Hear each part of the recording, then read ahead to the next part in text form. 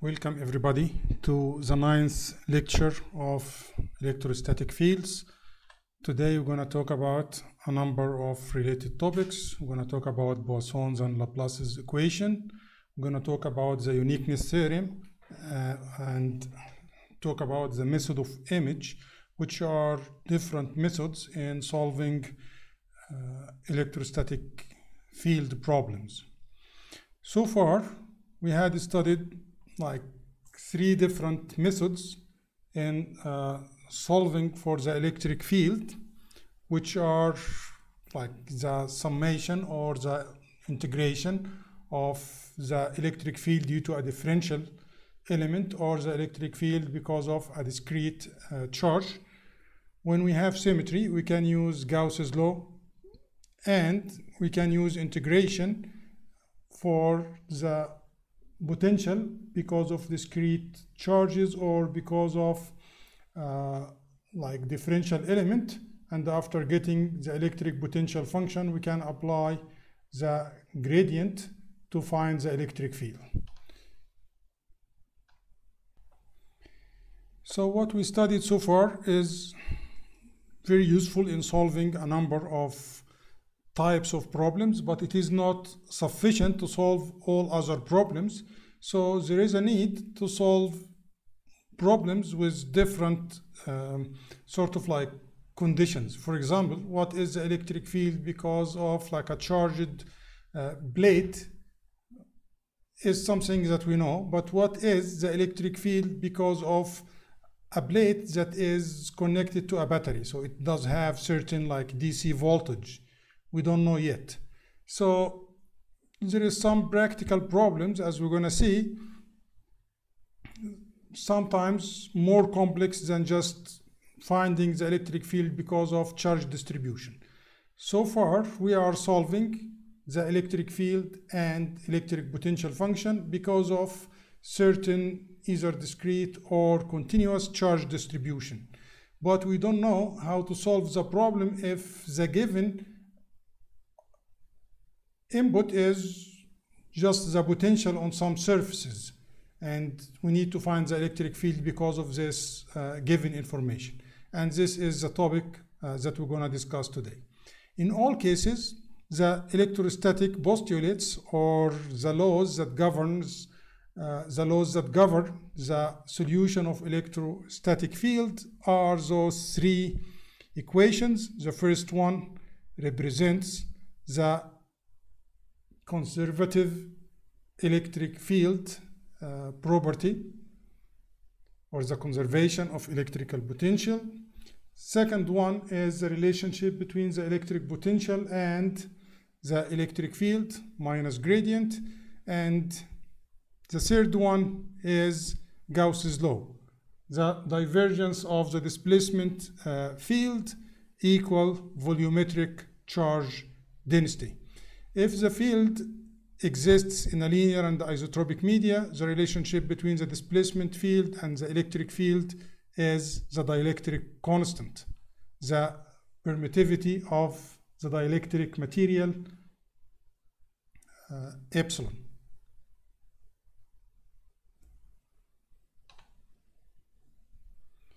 So from Gauss's law in the differential form, the divergence of D equal rho. So the divergence of epsilon E equal rho. We know that E is minus gradient of V. So the divergence of epsilon is constant because it's a linear system.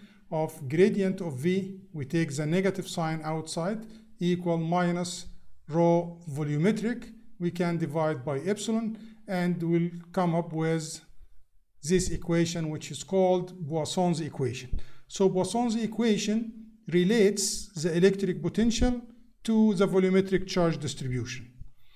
So in general, in many different parts of the problems that we solve in general, the charge distribution doesn't exist because mostly the charge will exist on the surface of uh, like conductors but in many different areas there is no volumetric charge density. So the right hand side will equal zero.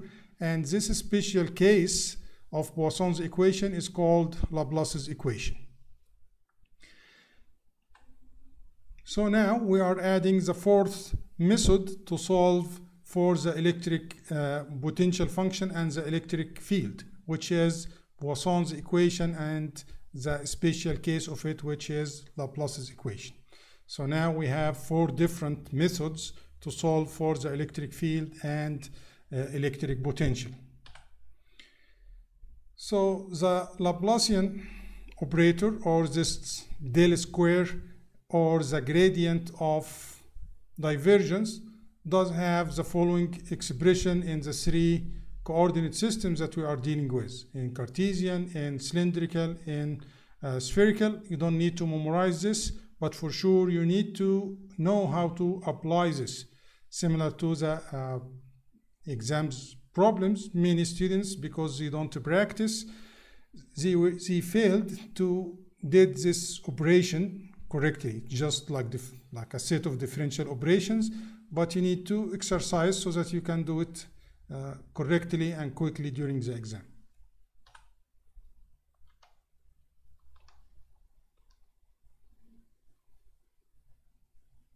Okay, as I said, like this del square or the divergence of the gradient is the a differential operator. This differential operator can be applied to scalar properties or scalar quantities, scalar functions like this case. Also, it can be applied to uh, vectorial quantities, and it, of course, it does have a different expression, but in our course, we'll deal with it uh, applied on the electric potential, and we're going to use its uh, format or its function over scalar quantity similar to the three cases that we have. And now let us like do some exercise on solving this problem. So we have a problem that I think we saw it before. So we have like two plates uh, of parallel plate capacitor separated by distance d filled with a dielectric material. The potential at the bottom equals zero, at the top equal V naught. So the capacitor is connected to a battery. And here, just like telling us to neglect the fringing effect, which is the uh, non-symmetry that does exist at the edges of uh, the capacitor at the edges and we need to find the electric field and electric potential at any points between the two plates. Also, we need to find the surface charge density on the two plates. So now, before we go for the solution, I want you to, I want you to think about how to solve this problem. Okay, of course, because we are studying Poisson's equation, we're going to solve this using Poisson's equation, but this problem had been solved before uh, using Gauss's law because we have symmetry here. We have symmetry with respect to x and z. We would expect the variation only to happen in the y uh, direction. We also solved this problem using uh, the potential. We know that uh, the potential between the two plates and now we're going to solve this problem using Poisson's equation. So let us see how to use Poisson's equation to solve this problem. So in the media between the two uh, we have no charges because this is a dielectric material that is not charged and we have no variation in x nor in z.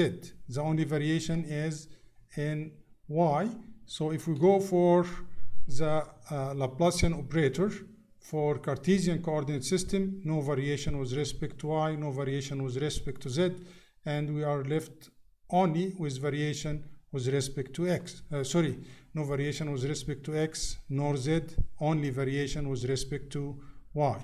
So in our problem, the uh, partial partial y second order differential uh, operation with respect to y will be just second order differential operation because there is no variation for any other variable and we have this expression here So we just integrate the two sides. So the first derivative of v with respect to y equals constant. So v would equal constant multiplied by y plus another constant. And now we can apply the boundary conditions. The boundary conditions that we have at y equal 0, the potential equal 0. At y equal d, the potential equal v naught. So at y equal 0, v equal c2. So we know that v equals 0, so c2 will equal 0. The second boundary condition, v naught equal c1 d, so c1 equal v naught over d.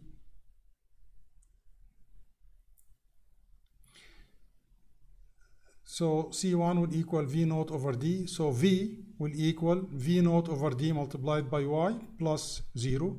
So now we have the expression for the electric potential at any point between the two plates.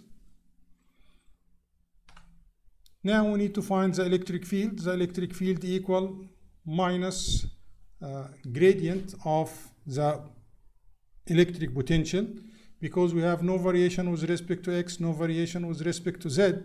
The only variation remaining is variation with respect to y and electric field will equal minus the gradient of v which equal minus ay v naught over d. So it's constant and it is pointing down which is in that direction from the positive to the negative. So this is the lines of uh, electric field. Now the second uh, question is to find the surface current, uh, sorry, the surface charge density at the conductor's plates. So the boundary conditions that we have that d normal equal rho surface or E normal equal rho surface divided by epsilon. And AN here, the normal component is going out of the surface. The normal component is going out of the surface. So at the lower plate, AN is going out of the surface, so it is in the AY direction. So just need to bring this here so that you can see. So at the bottom, AN is going out of the surface, so it is in the AY direction. So En will equal minus V naught over D. So the surface charge density at the lower uh, equal minus epsilon naught V naught over D. Repeat the same for the upper plate, but AN on the upper plate is in the direction of minus AN out of the surface. So on the upper plate, the normal component of E equal V naught uh, D. It is in the, so the surface charge density on the upper plate equal epsilon V naught over D. Of course, we should expect that the upper and lower surface charge density be equal in magnitude and different in sign. So we solved this problem using Poisson's equation. Okay, let us go for the second, uh, another example. So the example here is talking about find the electric field, find the electric field both inside and outside a spherical cloud of electrons with a uniform volume charge density, rho equal minus uh, rho naught, that exists between 0 and b, and outside at radiuses larger than b, the charge density equals zero. Solve this using Poisson's equation. So this is very, very similar to uh, the midterm exam problem, similar to the examples that we covered before, solving this problem using uh, like a different method. So this problem, here I'm just asking you a question, like how can this problem be solved? using a different method rather than solving using Poisson's equation. We can solve this problem using Gauss's law. We can solve this problem uh, using the integral form of electric field or integral form of uh, electric potential.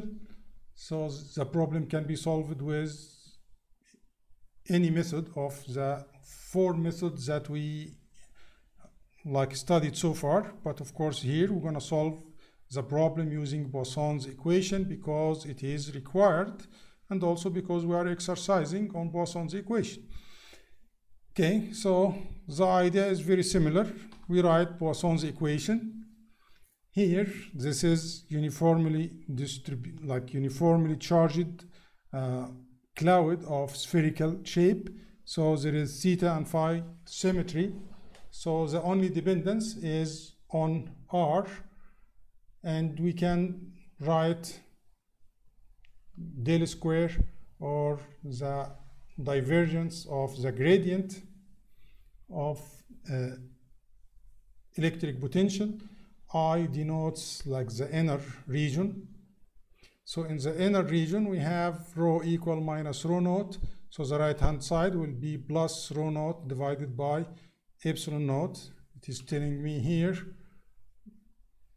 or like it didn't mention any uh, media. So assume the media is uh, free space. So we have the equation here, what is required. We need to find electric field both inside and outside. So what is required is the electric field. So we write Poisson's uh, equation for the inner part. So we multiply both sides by r square, integrate, this would be like r cubed then we divide by r square. So this will be rho naught epsilon naught r divided by 3 and we add a constant divide the constant by r square. So dv by uh, dr does have this expression. So the electric field equal minus gradient of uh, vi. And if you check the expression for the gradient in spherical coordinate system, you will find that EI should have equal this uh, value here. So with, like we don't need to go and find V, then we do the divergence because the divergence just depend on this value and we know this value now. Okay, so now the electric field does have this expression with a negative multiplied by negative AR. So if we go here at R equals 0, we'll find that this expression will equal infinity unless C1 equals 0 in order not to have infinity at the center of the spherical cloud. C1 must equal 0 so this is a boundary condition. We need like some like physically uh, realizable uh, quantity, we, we shouldn't find the solutions that equal infinity. So C1 equal 0 and just applying the electric field will equal minus AR multiplied by uh, rho naught divided by 3 epsilon naught. The negative sign here should be expected because this is negative charge so the electric field is going towards the center. Now in order to solve for the outside, we're gonna just repeat the process, but outside there is no charge, so the right hand side will be zero. So solving with the same technique, dV outside by dr equal a constant of uh, r square. Electric field equals the negative of the gradient, which is minus ar dv over dr which is minus AR C square over R square. How can we find C2? We need to find C2 from the boundary conditions. The boundary conditions that we have, the electric field at the interface between the two area, E out and En at R equal B must equal the same. So we can just equate the side here, C2 over B square with the value at b and we come up with the value for the constant so the field outside equal E naught multiplied like E naught equal minus AR multiplied by this quantity. You can check on this by solving the problem using Gauss's method and or by integration and make sure that you will get the same uh, result.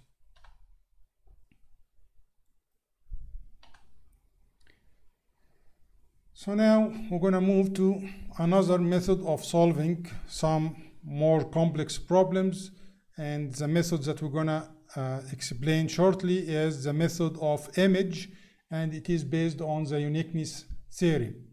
The uniqueness theorem is stating that a solution of Poisson's equation, Laplace equation is a special case, a solution of Poisson's equation that satisfies the given boundary condition is a unique solution.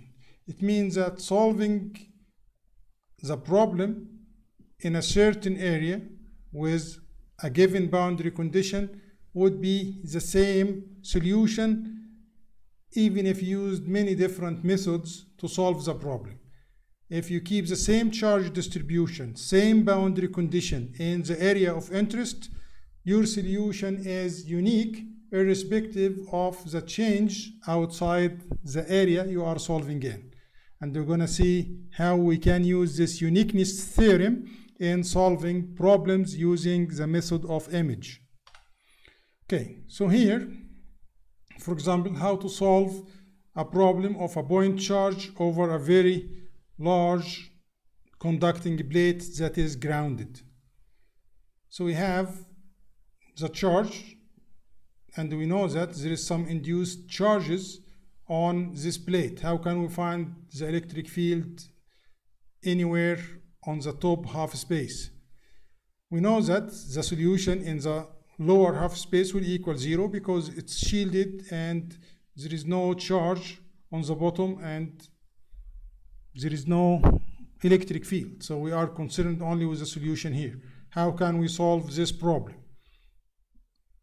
The only way is to find the charge distribution on the surface and find the electric field because of the charge surface charge distribution and the point charge, which is something very difficult to do. So what we're going to do to have uh, like a solution for this problem, we're going to use the method of image. So let us see how the method of image can be used here. So the boundary condition, so in the upper half space we have two things. Charge distribution is just a point charge here, no charge distribution anywhere else except this point. And we have zero potential at this plane. At y equals zero plane we have zero potential. So if we can like find a problem that is similar to this problem and we know how to solve it such that we keep those two things same charge distribution on the upper half space zero potential at the interface, we can find a solution. So, okay, so this is our problem that we are looking for a solution, and this is the solution using the method of image. Let us see the philosophy behind this. So, look for the upper half space in the original problem and in the equivalent problem. Same charge distribution at the same position. Okay? The boundary condition in the original problem we have zero potential on this surface here. So we'll have looking here this is positive charge. We put an image here or like a charge here that we call it like image uh, charge same distance same magnitude was different polarity because of the symmetry, we'll find that the potential here on the surface of this plane equals zero. So now, the upper half space in this equivalent problem and the upper half space of the original problem are identical. We don't know how to solve the original problem, but we know how to solve the equivalent problem. Just a problem of two point charges we can find electric field anywhere we can find the potential anywhere So the solution on the upper half space of this equivalent problem is the same as the solution in the upper uh, half space of this problem because same charge distribution, same boundary condition. The solution of the equivalent problem at the lower half space has no meaning to us because we know here in the lower half space we have zero electric field, zero potential, there is nothing. So we're gonna solve this problem, but the useful information is the information in this region here. Okay, so solving this problem is straightforward. We just have two point charge, so the electric field equal the electric field because of charge 1 plus the electric field because of charge 2 or the electric uh, potential at any point. Let us take a point here, x, y, and z. And this point is uh, 0, d, and 0, 0 minus d, and 0. So the potential at any point, arbitrary point, equals the potential because of the positive charge plus the potential because of the negative charge. Negative charge potential is negative. The distance between this point and positive charge equal this expression, the potential bet, uh, at this point because of the negative charge equals this expression and the problem is solved.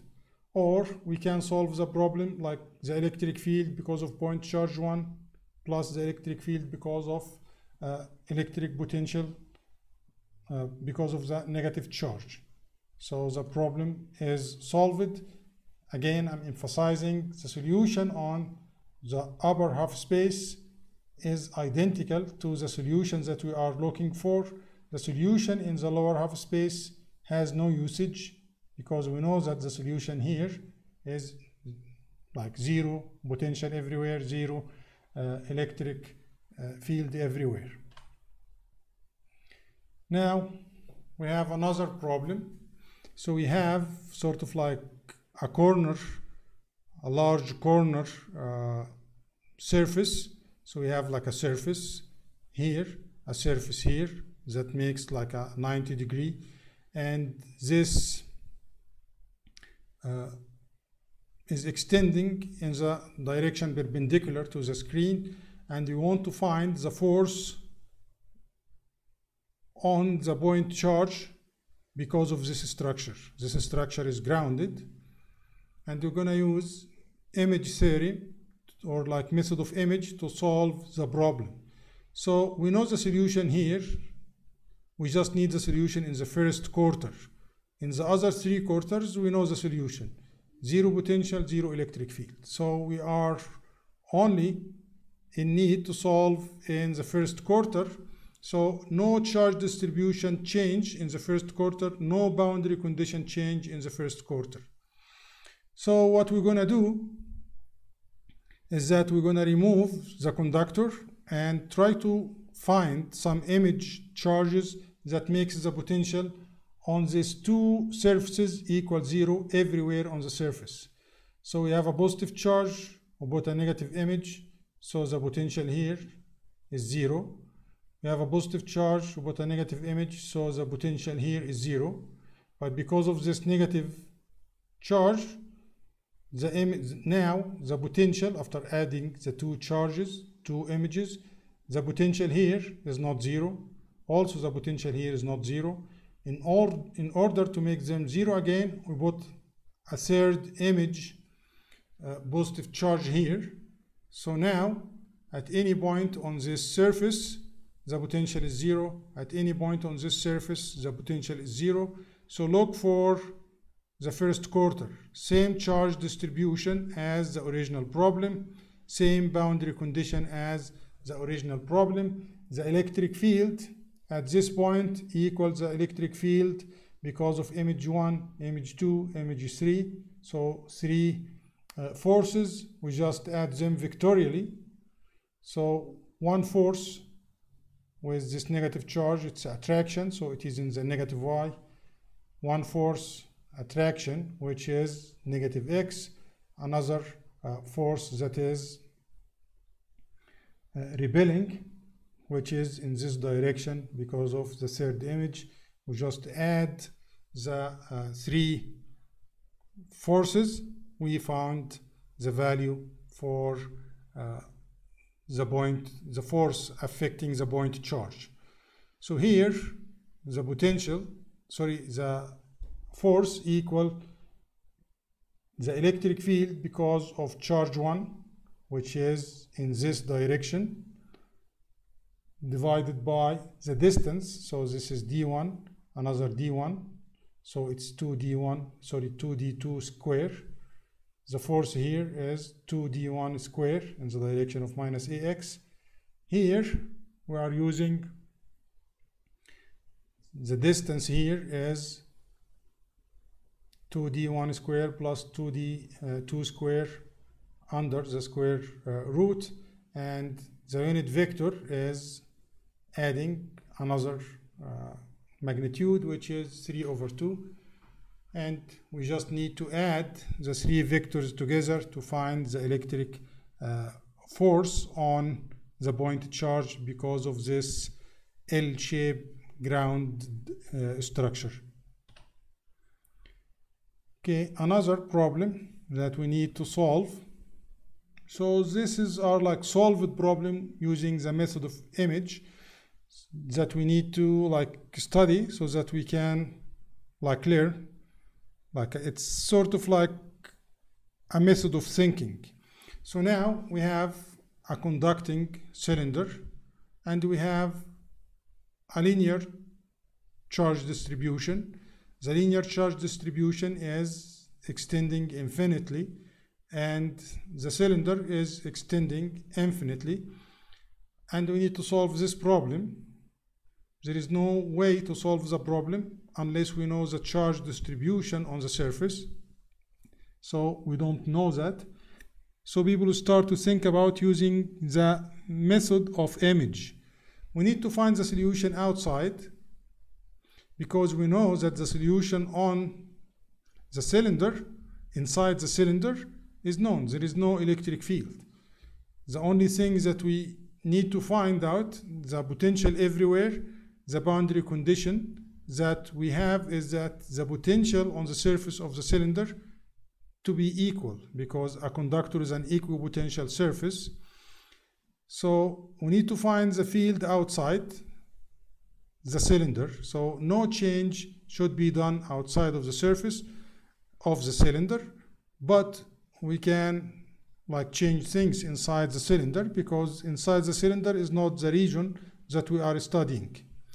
The solution of this original problem would be the solution from this equivalent problem. The equivalent problem is two regions, outside of the cylinder, inside the cylinder. Inside the cylinder, we don't care because this is not the region that we are solving for because in this region we know the electric field equals zero, the potential equal constant. Outside of the equivalent problem is exactly the same of the original problem if we can cause the potential on the surface to be constant. So what we need to do, we need to do something, we can put some charge distribution inside such that the potential on the surface of the cylinder equals zero. So people suggested to put like an image uh, linear charge distribution parallel to this external one with negative polarity. We know that from solving this problem before, the electric field has a potential because of uh, a linear charge distribution, infinitely extending linear charge distribution. The potential between two points does have this integration, so it does have this expression. We're going to choose R naught as any arbitrary point that does have a zero potential. We can't make R, R naught to be at infinity because the charges are extending to infinity. So just we use this technique, we just put an arbitrary point, let us say a point here that does have like a, a zero potential and we take it our reference. So the potential difference between this point and R naught does have this expression because of the positive charge distribution. Because of the negative charge distribution, we have another expression where the center is at this point. So now, if we choose any a point, arbitrary point on the surface of the cylinder, and we find the potential at this point, because of the positive charge, it does have this expression. Because of the negative charge, it does have this expression. We just simplify the expression, we'll have this expression, the potential of the point M, arbitrary point on the surface, does have the shown expression here. In order to have the potential to be constant, irrespective of the position of M, we need to have this ratio constant. So let us see if this is possible or not. So this can be done if this uh, triangular, this triangle OMBI is similar to the triangle OPM. So OMBI, if it is similar to OPM, we'll find out shortly that this ratio will be constant. So we need to choose this distance di to make those two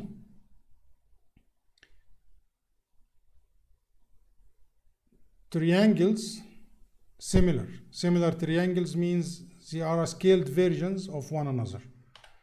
So we need to choose the point BI such that OMBI is similar to O uh, PM and this can be done if the angle OMBI OMBI this angle equal to OBM this angle because this angle is common between the two uh, triangles. So if two angles are equal the third of course must be equal and we have like similar uh, triangles let us see how to choose DI.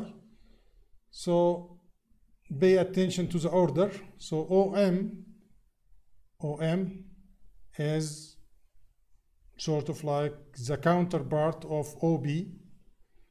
So OM over OB. OBI is the counterpart of OM. OBI over OM PIM over PM. So this is coming from the assumption that the two triangles can made similar to one another, substituting the radius. So we'll have like Ri over R equal Di over A equal A over D. So from this two, we can say that if we choose di to equal a square over d, which is a constant, and this is a constant. If we choose di such that this side here would be a constant and we would guarantee with this setup that the electric potential at the surface of uh, the cylinder in the equivalent problem is constant and this is the potential of the surface of the cylinder in the original problem. The solution outside of the cylinder in the equivalent problem is the same solution because of the uniqueness theorem, same solution as the solution outside of uh, like the cylinder in the original problem and we had solved the problem. This is the expression. Uh, so finding the electric field at any point is the electric field because of this line charge distribution and this line charge distribution, the potential anywhere is the sum of the two potentials and we had the problem solved with the method of image. A third problem, so we solved some problem in Cartesian, some problem in uh, cylindrical, and now we are solving method of image problem uh, using spherical coordinate system. So here what we have, we have a grounded sphere and a point charge outside of this grounded sphere and we need to solve the problem. We need to find the electric field everywhere outside of the conducting grounded sphere. So we'll do also a method of image. We need to search for some quantity Qi that we put inside such that we have uh, like a solution. So what are the boundary conditions?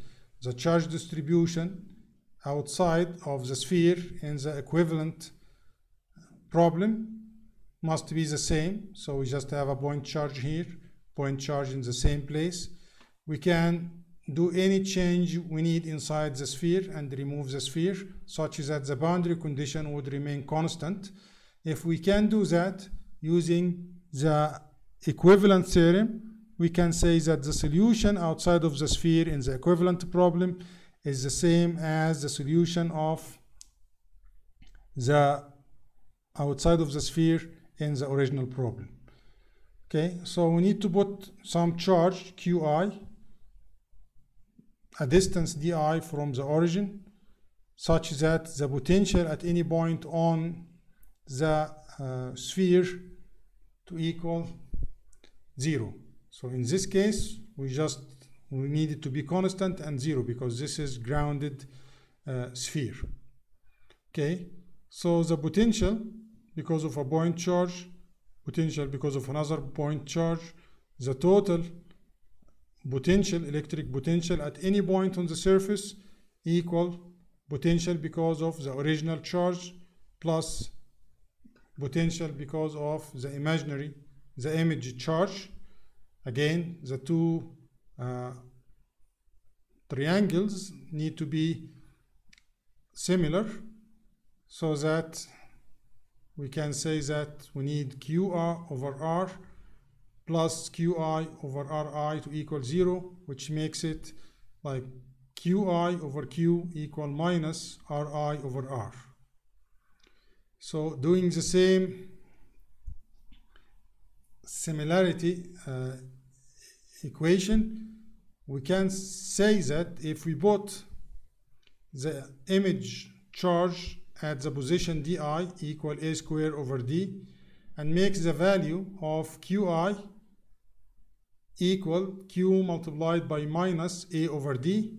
Under this condition, the potential at any point on the surface of the sphere in the equivalent problem will equal zero. Same boundary condition as the original problem same charge distribution in the two problems.